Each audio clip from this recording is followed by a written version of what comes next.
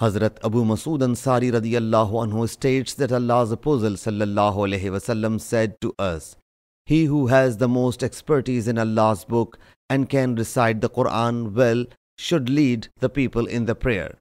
If they have emigrated at the same time, the oldest of them should lead. No one should lead the other man in his, the later, house and beat, nor should one sit in someone's seat without his permission.